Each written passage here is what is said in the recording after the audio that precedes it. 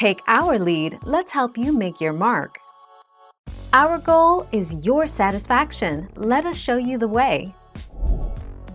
About repellents. Repellents may also be effective in skunk deterrence.